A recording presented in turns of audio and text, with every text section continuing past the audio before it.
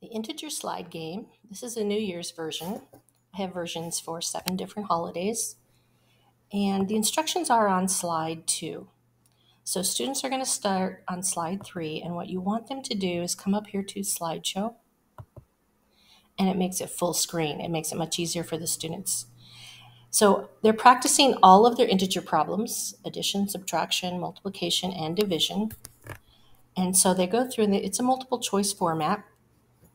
So if they get the wrong answer, it takes them to a slide that says they're incorrect and they need to go back. So they click the back button.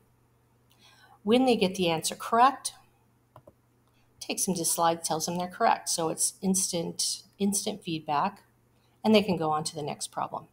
So it keeps going on like this. And they can keep practicing till they get better at it.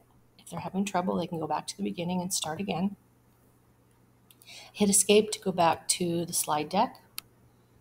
So there are several different problems, all four operations for integers. And when they get to the end, they'll come to a slide that said, excellent, they did it. So it's a lot of fun for the students, and this one is New Year's themed.